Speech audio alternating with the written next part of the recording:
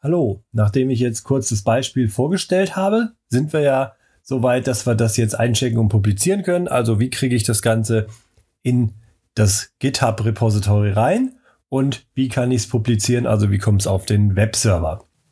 Dazu unterwerfen wir jetzt die komplette Website dem Source Code Management mitgibt.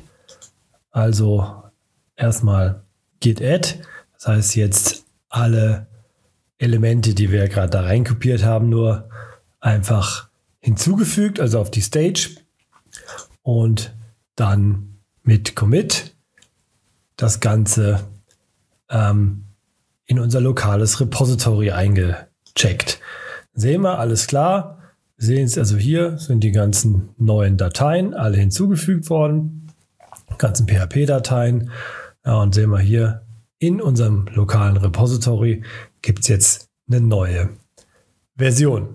Damit wir die jetzt auf die andere Seite hinkriegen, brauchen wir natürlich noch einen Push. Also einmal git push. Und wenn wir das ausgeführt haben, dann erscheint auf der anderen Seite eben im Remote Repository eine neue Version und die ist dann auch der Master. Sie sehen hier, werden die ganzen Objekte hochgeladen. Werfen wir noch einen Blick auf die GitHub-Seite, sehen wir hier bei unserem Repository Branch Test gibt es jetzt drei Submits, das was wir erwartet haben. Ne? Einmal die Initiale, wo wir die README-Datei erzeugt haben, dann das Erzeugen von der git-ignore-Datei und dann eben das Hinzufügen jetzt der gesamten Seite, also wo wir quasi alles reinkopiert haben. Im nächsten Schritt würde ich jetzt gerne eine Version erzeugen, die ich dann äh, publiziere. Denn wir haben gesagt, der Master, den wir jetzt gemacht haben, der ist gerade getestet. Den haben wir gerade eben in allen drei oder vier Browsern ausprobiert. Und dazu erzeugen wir uns jetzt einen Produktionsbranch. Das wieder immer, also Git Branch, den nennen wir jetzt Production. Und dann wird der erstmal, ja, wie erwartet hier auf der lokalen Seite erzeugt. Also es gibt den Master und den Production, die zeigen beide auf den gleichen. Gut, der ganze Branch sollte jetzt auch noch rüber, also müssen wir ihn auschecken, dass er unser Produktiver ist und dann können wir ihn entsprechend auf die gegenüberliegende Seite schieben. Ja, das heißt also, wir haben jetzt einen Push-Befehl hier ne, mit Set-Upstream und so weiter. Und wenn wir den jetzt ausführen, dann sehen wir auf der gegenüberliegenden Seite ist jetzt auch dieser Production, Production Plan bzw. Production Branch entstanden. Werfen wir mal wieder einen Blick hier auf unser Repository im GitHub. Da sehen wir alles klar. Es gibt jetzt drei Commits und zwei Branches. Ne? Gibt es hier in den Insights, gibt es noch die Möglichkeit, sich über das Network anzugucken, wie das gerade ausschaut. Dann sehen wir alles klar.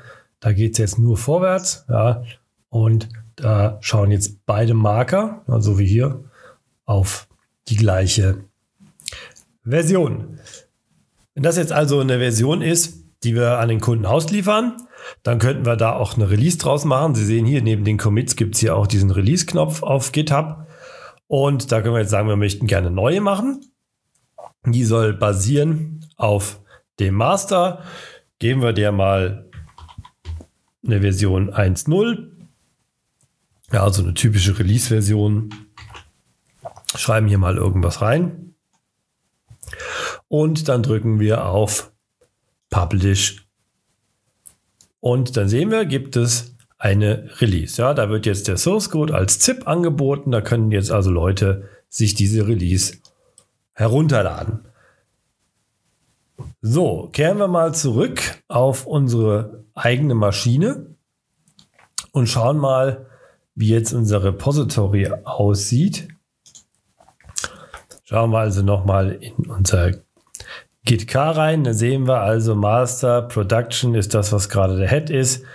Ähm, ist also alles in line auch mit dem Remote Repository. Das ist gut. Ähm, da machen wir jetzt mal weiter. Weiter machen wir natürlich mit unserem Master. Das heißt also, wir schalten jetzt erstmal wieder auf den Master zurück. Da sehen wir also, hier wird der Head wieder umgeschaltet. Dann sehen wir, wenn wir jetzt nochmal in unser Git K reinschauen, Hier sehen wir jetzt, dass der Master fett gedruckt ist. Das heißt, wenn wir jetzt weiterarbeiten, dann wird quasi der Master weitergeführt und Production bleibt eben auf der aktuellen Version, die jetzt gerade im Repository drin ist, stehen. So, jetzt wollen wir mal die Webseite publizieren. Dazu gehen wir mal aufs Produktivsystem und löschen erstmal alles aus dem Produktivsystem raus und dann holen wir uns die aktuelle Produktion. Ähm, da gibt es wieder ein Git-Clone und hier gibt es jetzt einen neuen Parameter, denn was wir ja eigentlich machen wollen ist, wir wollen genau eine Version holen. Das heißt, hier gibt es erstmal den Branch Production, das kennen Sie schon. Und dann geben wir hier eben den Single Branch an. Das heißt, also es wird genau diese eine Version geholt. Und das ist ja das, was wir auf einem Production-System brauchen. Ja, also, dass wir im Prinzip nur die letzte Version haben. Schauen wir mal da rein. Ja, sieht so aus. Also hier sind unsere PHP-Files und so weiter. So, das heißt, die ist jetzt online. Schauen wir mal kurz nach. Also gehen wir mal auf die Online-Seite. Ja, das sieht gut aus. Das ist das, was wir erwartet haben. Ne? Also hier unsere Sonderangebote und so weiter. Das ist jetzt im Opera. Das müsste ja dann eigentlich im ja, im Chrome genauso aussehen. Die anderen brauchen wir jetzt nicht nochmal testen. Das haben wir ja schon mal gemacht. Jetzt haben wir das ja alles soweit vorbereitet. Jetzt können wir uns ja mal dran machen, Änderungen an dem System vorzunehmen und das machen wir dann direkt im nächsten Film.